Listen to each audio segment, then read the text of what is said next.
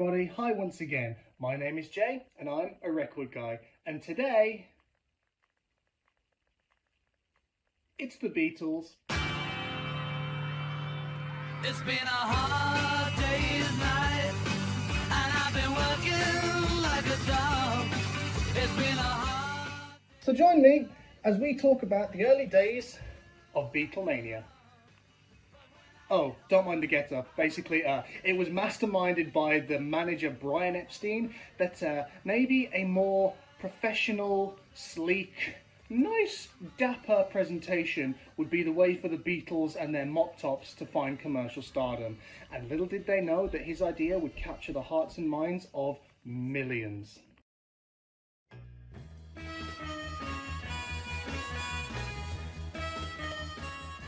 Please Please Me, released on the 22nd of March 1963.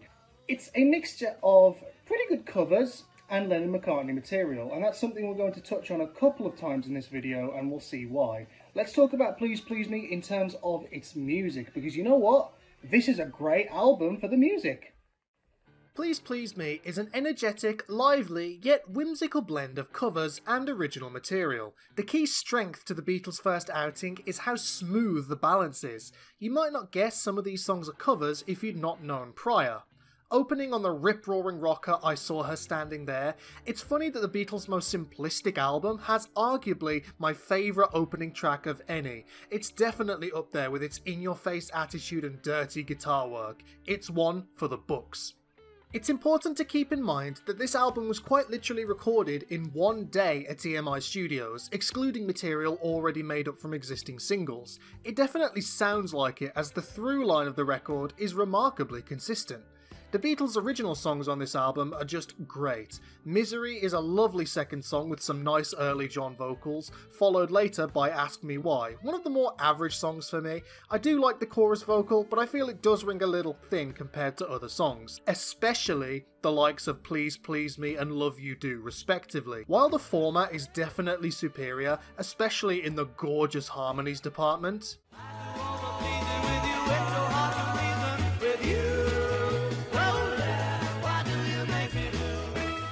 Love Me Do isn't one to sleep on either. The slower pace complements the former perfectly. Fun fact about that, Please Please Me was supposedly at first going to be quite a bit slower, but at the urging of the Beatles' mastermind George Martin, a man we will definitely be talking about in the future, the song's pace was sped up greatly to what we have today. And I think this decision was a great one, because would it really have sounded the same like this?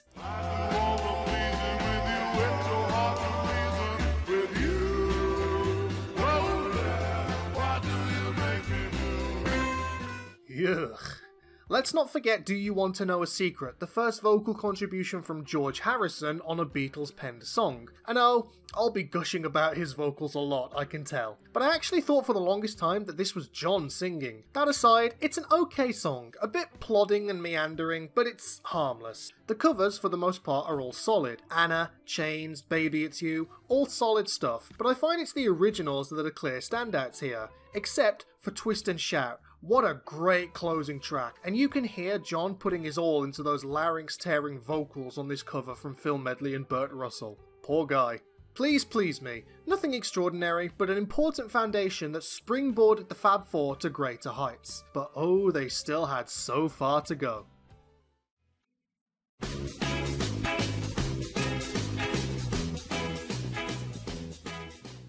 Next up, with the Beatles. After we come from the uninspiring artwork of the first album, we get a much more artistically pleasing aesthetic statement. This one, with the Beatles draped in shadows in their black cardigans, would go on to become one of the most popular and influential album covers of all time. It's another mixture of Lennon McCartney compositions and covers, with the first contribution from my favourite Beatle, George Harrison. With the Beatles is a no nonsense follow up to Please Please Me, with all of the same bells and whistles, but having the added benefit of being recorded over a much longer period. Released just 8 months after its predecessor, it's another evenly distributed mixture of Lennon McCartney material and covers, with the first song credit for George. As I said previously, I love this artwork. It really speaks to a much more creatively driven approach to the presentation, a truly remarkable piece of work from Robert Freeman. Along with some of the songs, it espouses a moodier, more sullen vibe, yet this doesn't bring down the energy and life that much of the music still exudes. I think it's a precursor to the exhaustion and frustration that would begin plaguing the band as this strenuous cycle of touring and public appearances would grind at their bones. We start with a whopping five Beatles songs back to back this time around, opening up with the energetic and in your face, It Won't Be Long. In some ways, a very emblematic Beatlemania kind of song. It takes the call and response yeah, yeah, yeah aspect from She Loves You and diversifies it with a different style. John would later remark that this was the kind of song that opened them up to newer audiences. Then we have All I've Got to Do, one of many love ballads present, but it's not bad by any means. I love John's soft, gentle singing on this one, and as always, the harmonies are on point. Other songs like Hold Me Tight, Little Child, and Not a Second Time would follow this lovey dovey style, albeit with more energy overall. But you can definitely feel the more distinct difference in theme between the originals and the covers. The first real standout of the album has got to be All My Loving, characterising the vitality of the Beatles' explosion perfectly. From the lyricism of All My Loving being sent to you, to those jangly, rattling triplets from John's rhythm guitar, to Ringo's always appreciated beat that keeps the whole thing together, it's a great track. Don't Bother Me is George's first songwriting credit, and he takes vocal duties on this one as well. That being said, the song is often overlooked, but I really like it. I love the thick sound it achieves from the double track vocals and reverb drenched guitar work. It's got a very Latin style rhythm to it, and it's one of the earliest examples of a more moody Beatles song. And hey, Ringo got to play with an Arabian bongo on here. That's cool. The covers are all pretty solid as well. Please Mr. Postman, Roll Over Beethoven, and Money are all groovy rockers that are well deserving of their regular rotation in the band's live shows at the time, and I think George's vocal performance on the Chuck Berry piece is just stellar. Devil in Her Heart, yet another Harrison led vocal, is great. This album was really great for George, wasn't it? You really got a hold on me as another standout demonstration of John and Paul's voices blending together so perfectly. It's all good stuff. Oh, but I can't forget Ringo's main takeaway either. I want to be your man. It's. it's fine. John himself would later say that this kind of was a throwaway song, and while I wouldn't go that far myself, I do think it's the outlier, all things considered, and that was with the Beatles. You know, I struggle to see why it's one of the more overlooked releases. I think it's chocked full of great material, and while it can feel a little more disjointed in atmosphere than its predecessor and its follow up respectively, I think it sits neatly in its place as the sophomore outing that simply kept the Beatles train rolling. But similar to many other great albums, such as the Ramones' Leave Home, it suffers from being sandwiched between a great debut and an even greater third follow up. It's been a hard day's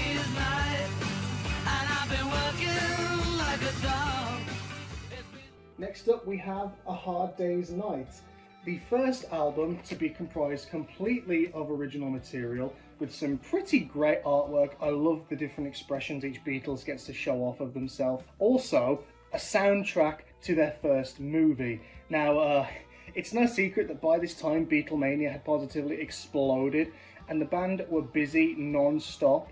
Let's get into what is often considered the brilliance of Beatlemania. A Hard Day's Night, named by Ringo, released in July of 1964 in the UK and two weeks earlier in America. For the first time, all tracks are original songs by the band and were written by the Lennon McCartney duo. This was their tried and tested songwriting manifesto, the ultimate show of force for what the band were capable of. And it is awesome. Arguably defining the very definition of pop rock, Hard Day's Night is often regarded as the best and most succinct summation of Beatlemania as a phenomenon. Energetic, lively, buzzing, yet full of heart and whimsical charm. Side 1 comprises of songs from the soundtrack to the film of the same name. But another crucial aspect of the album which I need to mention George Harrison's Rickenbacker 12 string. This sound was so influential to the oncoming folk rock explosion, and just another example of how the quiet Beatle was subtly making innovations of his own. This is the album, guys! This is the British invasion made manifest, an explosion that can be understood just from the legendary title track alone, and for how adored the vibrance and life of John and Paul's vocals are on A Hard Day's Night, can we step back and appreciate Ringo's drumming here? Those bongos and cowbell doings and clangs are just so infectious. The song wouldn't be the same without it. And once again, that opening chord is just like a boom. I Should Have Known Better is the follow up, opening with a classic harmonica intro, coincidentally the final time they'd ever do this. The middle 16 of the song introduces George's Rickenbacker into the fray, and it wastes no time in making its unique sound known. John's vocals are also great in this one, hitting notes he wasn't as brave to attempt before. I think that's commendable. Next up, If I Fell, the first slower paced love ballad of the album. John and Paul share a microphone for closer, richer harmonies, and an intricate chord progression which shifts from an E flat minor intro to D major, sprinkling in descending bar chords and a quirky D ninth dominant. It's classic John eccentricities like that that make this one special. Then we have I'm Happy Just to Dance with You. George gets to sing this one, unfortunately, as a result of John and Paul handing it off to him for something to do. The rhythm guitar is all over the place, contrasting bizarrely well with George's vocals, and Ringo gets to play with more world percussion, like the African drum. It's an okay song, probably the weakest of side 1, but not by much, it's still pretty good. And I Love Her, written largely by Paul McCartney, is a pretty significant song for a few reasons regarding it himself as the first ballad he impressed himself with, and being called his first yesterday by John, it definitely lives up to that reputation, being a cut above most early Beatles material for the sheer beauty it exudes. And once again, the quiet Beatle said by McCartney was responsible for the guitar riff. Paul said that it made a stunning difference to the song. It's beautiful, one of my favourite slower songs in the band's early days. Tell Me Why shoots us right back into the do what madness and hysteria that masks the more cynical subject matter of the material. It's a good one, though a bit overshadowed by the title track, I think. Interestingly, it has also only ever been performed once in front of a live audience. A paid live audience. And it was mimed! Oh, and a 13 year old Phil Collins was there. Funny how that works out. Bookending side 1, another early Beatles standout, Can't Buy Me Love. Adopting a 12 bar blues structure for the verse, something the band wasn't actually quite familiar with, it certainly has an interesting result. I have to admit, compared to most other songs on side 1, it doesn't sound as interesting to me, but Ringo's bashy cymbals keep me invested just enough, and George's guitar solo is more than enough to keep it going. A pretty good closer to the first side. Side 2 opens with any time at all, and the intro is like a slap in the face, but a much less welcoming one than the serene opening chord of the title track. The percussive slam wakes you up and catches your attention. It's got the same feeling as It Won't Be Long in that regard. I really do love how George's Rickenbacker is ringing through on this one, and to give more credit to George Martin on both this and the title track, he had the ingenious idea to have the solo be a duo between himself on piano and the notes echoed by George, which has this beautifully resonant sound that's candy to the ears. I'll Cry Instead is one of John's autobiographical pieces, though not yet as introspective as the album coming up. On this biting folk rock number, John wails his feelings of frustration and lack of freedom, evident in the lyrics, and there is a hint of cynicism to John's vocals, I find. I do love the bass break that Paul adds to the third line of each verse. It's quite forecasting of his approach on later songs from the Revolver era. This one's fine, not one I have much to say about. Things we said today. I have to be honest, after And I Love Her, this one doesn't quite hit the same way for me personally, but I would be dishonest if I didn't praise the complexity of the number. It flirts with jazz and classical influences, shifting between major and minor keys musically, and between first and third persons and future and present tense within the lyrics. I'm a sucker for songs that do this sort of thing. I'll happily consider it and I love her's faithful little brother. When I Get Home, another John piece. It takes your typical rock and roll style and throws a wrench into the mix with more strange chord progressions and styles, something John really enjoyed at this time. Was it because he did anything that sounded good? Who cares? Because it does. This one's okay. Honestly, nothing special, and I have to say the same for its follow up, You Can't Do That. This one's another 12 bar blues influenced piece, and represents more of John Snide's cynicism rooting into the lyrics. Feelings of jealousy and paranoia grip the listener. Musically, I think it's fine. I love the harmonies and how aggressive some of John's phrases are, but it's overall just good. The closer, I'll Be Back, is a great little piece. I love the flamenco style the guitars adopt, and it has a more eccentric vibe to it than anything else on the album. It feels like the most forward looking song on an album all about living and partying in the present. Considering how I feel about the previous couple of songs, I believe fully why George Martin liked opening and closing Beatles albums with the strongest of the bunch. This thoughtful piece is seriously a great closer as the party life fades away into a more ominous final note, possibly foreshadowing what was to come. And that's Hard Day's Night.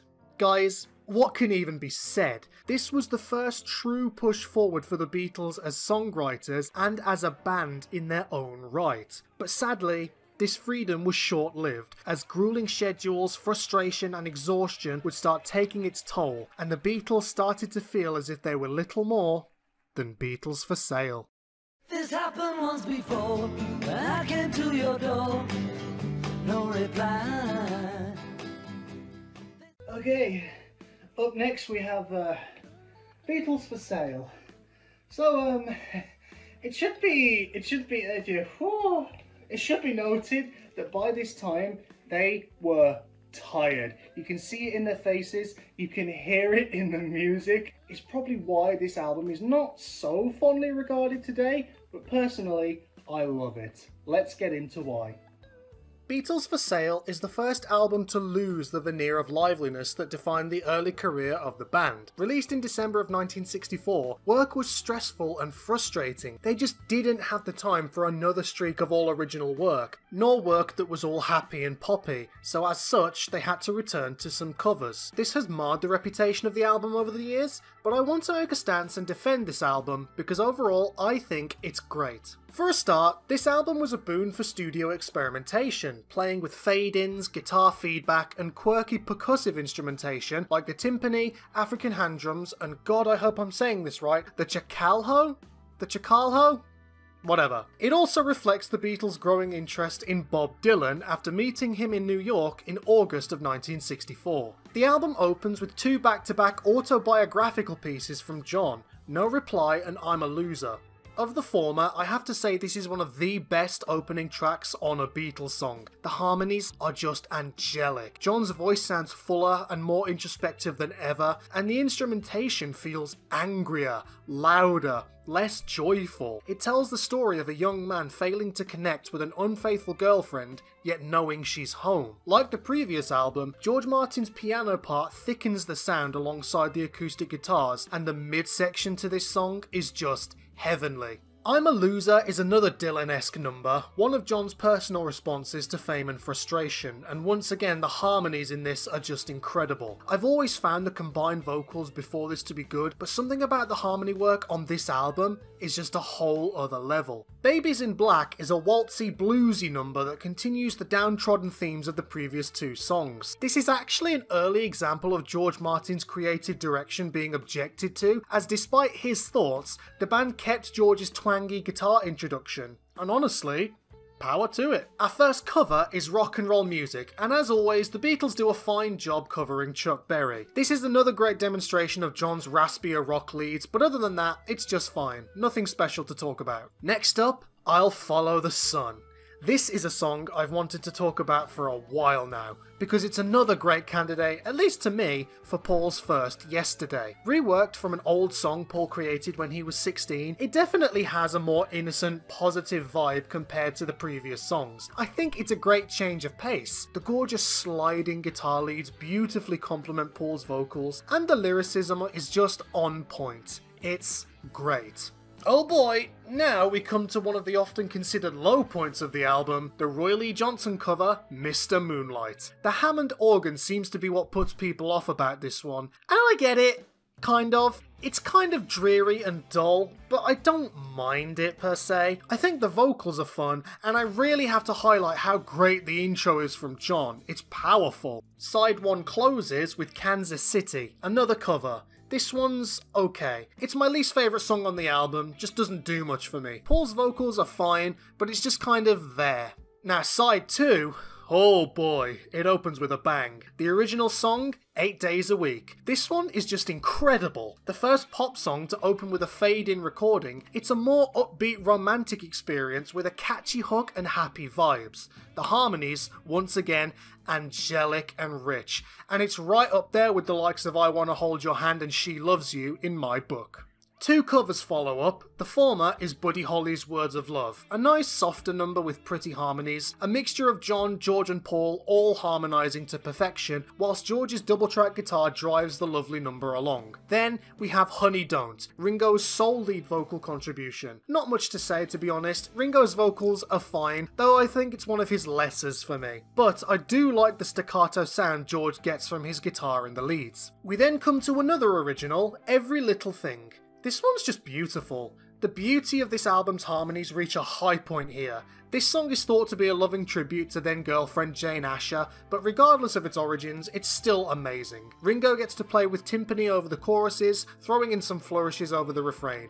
It's a great piece, and John's double track vocals really bring a wide, rich sound. I don't want to spoil the party. This one's similar to I'm a Loser in the sense that it's upbeat but conceals a more melancholy message. It tells the story of a partygoer who is stood up by their partner but leaves rather than spoiling the party for everyone. It's a funky little country style number, it's fine. The penultimate number is What You're Doing. I think this one's okay, but I understand why Paul later looked unkindly on it, as, I will be fair, it's a bit dreary, but I do want to say that his vocals on this one are pretty good. I like the reaches he makes on some of the lines, and I think it's whimsical. We then close, unfortunately, with a cover, and it's one of the weaker ones, I think. Everybody's Trying to Be My Baby, George's sole lead vocal contribution, which gets tacked on to the end, and I can't help but feel it's an afterthought. It just kind of feels by the books. Beatles for Sale. It's a bit of an uneven album, granted, but I really love the original material, and I think that's what makes this album special. It's the start of the experimentation, the maturing of their sound, the deepening of the lyrical themes, and it would all start coming together. All they needed was a little help.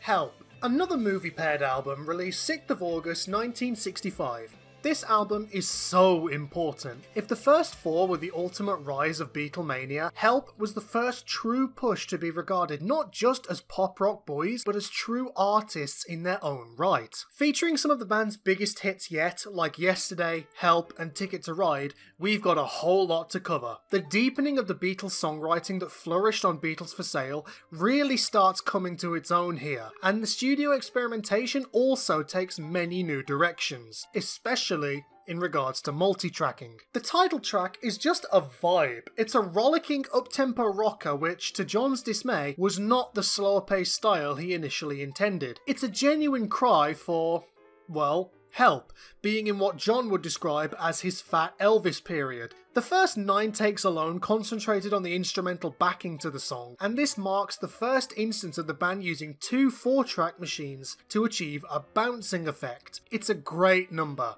one of their standouts. Next up is The Night Before, the first Beatles song to include an electric piano played by John. Reception on this song in later years is rather mixed, and I have to admit I'm in the middle. I think it's fun, and the echoey vocals are great, but it is kind of just average considering some of the other juggernauts side 1 has to offer, such as Hey! John steps once more into his Bob Dylan mindset with the folky, provocative number, You've Got to Hide Your Love Away.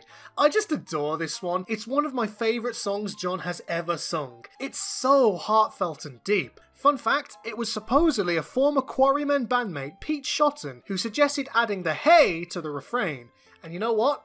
Thanks, Pete, because that's probably the best part of the song. Now we come to a song written and sung by George. I Need You. And oh gosh, for the first song to be written by him in three albums' time, the growth is just impeccable, despite the band's dislike for what he'd attempted prior. His vocals on this song are just beautiful, and I love the guitar cadences fading through by way of a volume pedal and the suspended chords. It's a very ethereal style, and it's just sublime. Next song is Another Girl. This one's bouncy and lively, kind of in the style of She's a Woman from previous sessions, and backed by block vocal harmonies. It's a very wide sound. I think it's okay, not too special compared to the rest of side 1, but I do enjoy the flourishes here. Coming on to You're Going to Lose That Girl. Another beauty. The harmonies in the start are just lovely. It's another fine piece, sadly a little overshadowed by what follows, but it's a good one, I don't have much to say. And of course, that following song is Ticket to Ride. It expands the typical AABA pop format with 8 bars of the verse and chorus forming the A section, and the main bridge having 9 bars as part of the B section. The underlying A chord that suspends throughout the verse has a very Indian style droning effect. It's quite raga style, and on an overall scale, the song is just heavier, bigger than what they'd done before. Once more, George's Rickenbacker carries the sound to the heavens.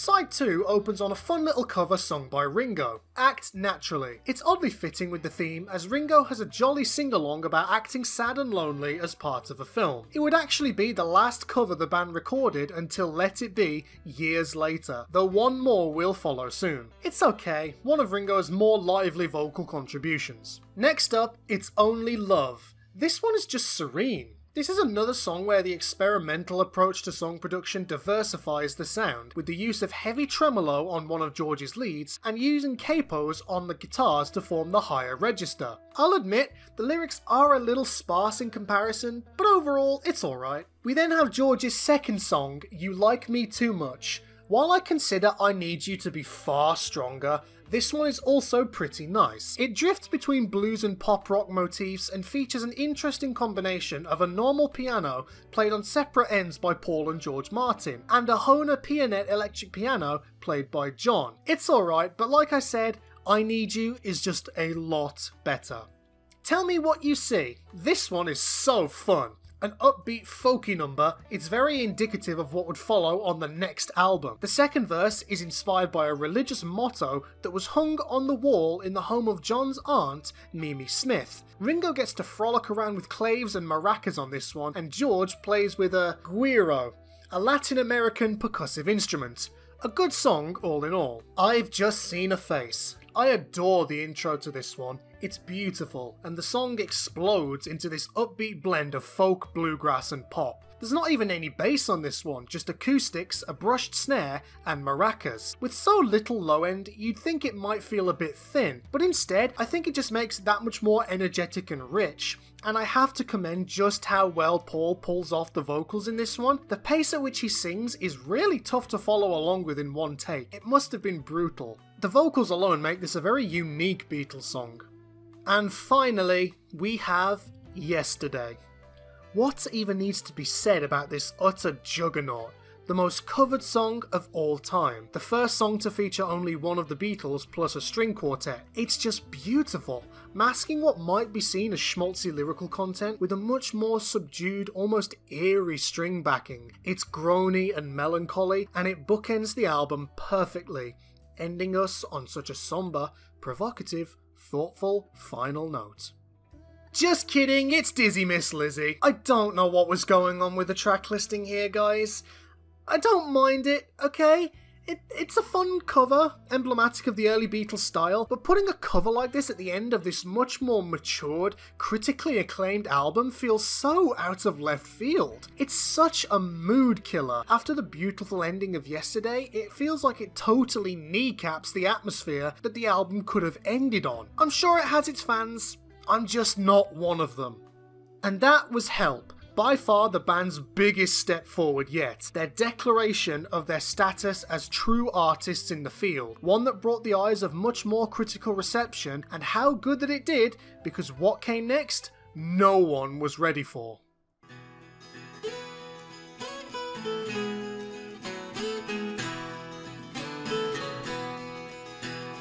I once had a girl. Oh, finally, back in my element. And you know what? So were the Beatles with their next masterpiece, Rub. Did anyone smell Bob Dylan? Rubber Soul is the first album that shifted the Beatles from the dominating pop rock foursome to musical geniuses, pioneering the very evolution of popular music, as well as the way albums were recorded and regarded. Derived from the phrase plastic soul, the name is a means for the Beatles to express their confessed lack of authenticity compared to the African American artists they were inspired by. Considering the Beatles were also often in hot water for refusing to play segregated shows in a decade where civil rights would explode amidst a volatile social landscape, I really respect this notion of owing such tribute to the people who really defined rock and roll. Rubber Soul was the first album free from the constraints of constant touring and public showing, but still had the unenviable deadline of just four weeks recording. Despite this, the Beatles made the studio their instrument, incorporating more exotic instrumentation and taking more direct control of their artistic vision. Drive My Car opens the album. It's a great upbeat number. It's like a fine blend of an early Beatles rocker with the more matured nuances that define their mid years. Just from this song alone, you had the feeling that this record was going to be different. And how different it was. When Norwegian Wood marked the second appearance of a sitar on a Western rock recording, beaten just barely by See My Friends from the Kinks, it became an influential piece to the development of raga rock and psychedelic rock, respectively. It also exposed listeners to the stylings of Indian classical and was vital to the evolution of world music. This song, to put it simply, is beautiful and was the first time the Beatles truly ascended beyond what they had been prior. You Won't See Me, a song by Paul regarding his troubled relationship with Jane Asher. It's another great piece. One of the final songs recorded close to the deadline, it definitely feels like a song born from exhaustion, as the tempo gradually slows throughout, dragged along by Paul's Motown inspired bass line. Oh boy, Nowhere Man. Another absolutely stellar piece of music. The opening a cappella harmonies are some of the best the Beatles had done up to that point, and like the song before it, was recorded near the end of production and exudes a sensation of fatigue and insecurity. It's gorgeous, and this has to be one of George's most beautiful guitar solos to date. Next up, Think for Yourself we get a groovy slice of experimentation here, as Paul makes use of a fuzz bass for the lead guitar line, the first time a bass had been recorded with a fuzzbox device. It really shows because the sound is so bizarrely unique for its time. Oh, and George steals lead vocals here, and it's great. Rubber Soul was the time that, thanks to influences like Bob Dylan and hallucinogenic drugs, George began experiencing his own personal enlightenment of sorts, starting to grow weary and critical of the fame the Beatles had achieved, thinking it pointless. Following on, we have The Word, it's an okay one. I think it's the filler piece on side one for the most part, although Ringo really shines on this one. It's altogether average amongst a pile of gold, so nothing too bad. Ending side one, we have Michelle. I'll admit, I'm a little mixed on this one, although I recognise why it's so widely regarded. It's classic Paul Cheese, going between English and French lyrics that espouse schmaltzy romance, but the finger-picking style acoustic is a nice listen. It's another example of a more exotic sound, taking inspiration from more French-style blues, but considering how lively much of the album can be while still being introspective and intelligent, this one does sit a little deadbeat to me. Side 2 opens on What Goes On, Ringo's sole lead vocal contribution, and I think this one, while overlooked, is really fun. Ringo has always been fond of the country style, and this rockabilly piece is totally his field. It's enjoyable and definitely one of the simple songs on the album, but I don't even mind that. It keeps that early Beatles spirit that's often appreciated. Next up, Girl what could be called John's version of Michelle, I suppose. This was the last song finished for the album, and it's absolutely melancholic and down-paced. It's easily the most sluggish feeling of the album, and I have to admit the harmonies on this one don't capture me as much as Beatles songs usually do. They feel a bit bland to me, I guess. I'm Looking Through You, another beauty, and another Paul song lamenting about his partner. But the vocal work here feels like some of the most genuine and pained he's ever been, as the narrator laments on their refusal to see the change in their partner. It's quiet, more traditional pop rock in style, it's gorgeous. But nothing could prepare me for the first listen of In My Life. If yesterday was Paul's first song that proved his songwriting had matured far beyond the stylings of a young, inexperienced Liverpudlian, In My Life is John's turn.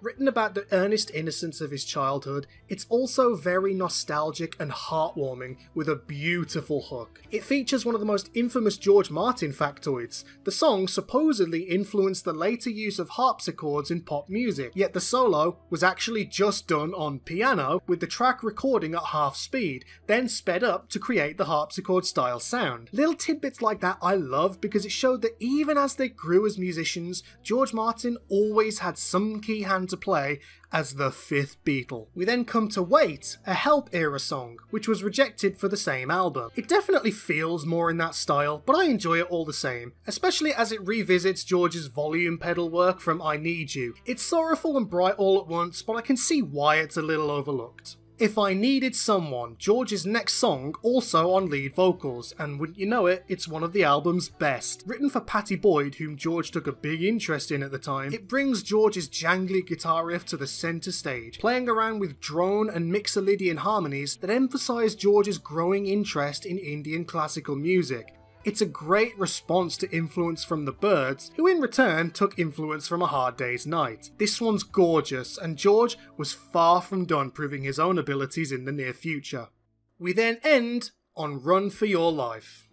Let's put the elephant aside, alright? The subject matter, already criticised and torn apart by many a critic in years since, is what it is. John himself later looked back unkindly on it, and yeah, it's not exactly pleasant, especially given the album that it's part of. That aside, musically, it's just okay too. It's rock and roll style with the typical three part harmonies you've come to expect, but the bluesy solo is one of the less inventive moments on Rubber Soul. It feels more like it's John than George playing it.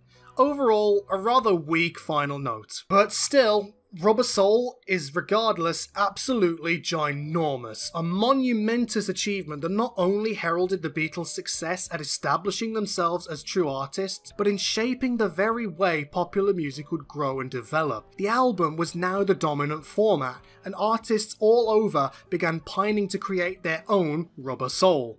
But don't you worry, because as 1966 dawned, the Beatles were still gonna go in, guns blazing.